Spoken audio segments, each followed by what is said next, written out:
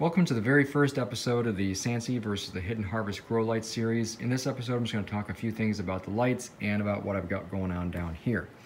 And these are actually clippings from a jalapeno pepper plant that was taken from another experiment that I did, which is the RODI versus the tap water, which will be linked right up here or at the end of the video for the playlist for that series.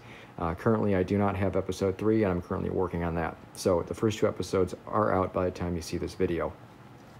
But I got these down here. I don't normally have, or I don't have these, both of these lights on while I'm getting these to root. I only have the Hidden Harvest grow light on and I have it on the other side of this divider so that these get a minimal amount of light before they root.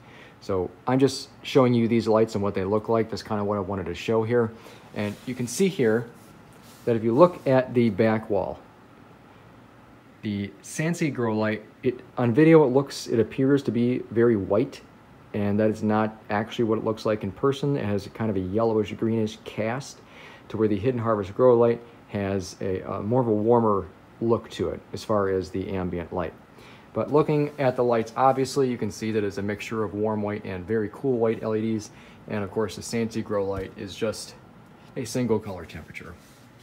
And I've talked in the past plenty of times of how when you mix the color temperature of LEDs, such as a warm and cool white, you get a better overlap of spectrum. And we're going to put that to the test in this Grow series. This isn't going to be a very long series. It's only going to consist of a few episodes.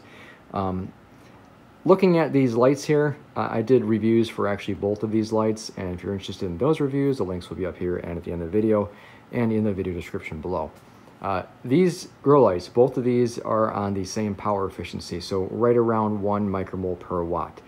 Uh, they do not dim, but what I will be doing is, is using my Apogee MQ500 par meter to make sure the par levels will be the same at the plant canopy so that it's a very uh, valid experiment.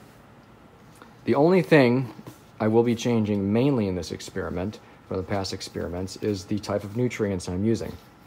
In the past, and pretty much every single one of my hydroponic experiments, I have used the General Hydroponics Flora series, the liquid fertilizer. In this series, I'm starting to use the dry fertilizer. This is Veg Plus Bloom, the RO uh, slash soft version which is uh, available on Amazon. So this is gonna make things a lot easier and I'm really looking forward to using this. If you're interested in this, it will be in the description below.